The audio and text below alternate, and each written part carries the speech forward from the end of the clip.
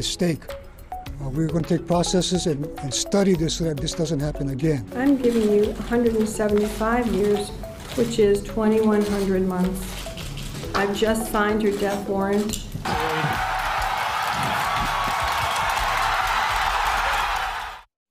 There are multiple casualties, though. There, there are uh, folks that have lost their lives. We can and we will change the world.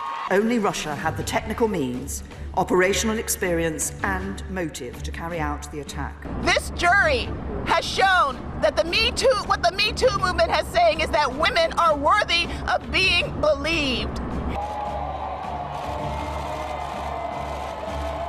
We're going to have a great discussion, and I think tremendous success. They'll be tremendously successful.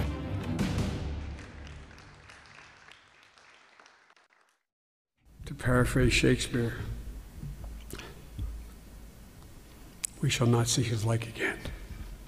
I am here because I believe it is my civic duty. This is a circus. We will not let terrorism win. Not today, not ever. I may Okay, ask that's one other question, Mr. President. If I may, if I may ask Peter, one other ahead. question, are you worried? That's enough. That's Mr. enough. President, I, didn't- well, That's I was going to enough. ask one of the, the other folks. That's had- enough. Pardon me, ma'am. a great and noble man, the best father a son or daughter could have. And in our grief, let us smile knowing that Dad is hugging Robin and holding Mom's hand again.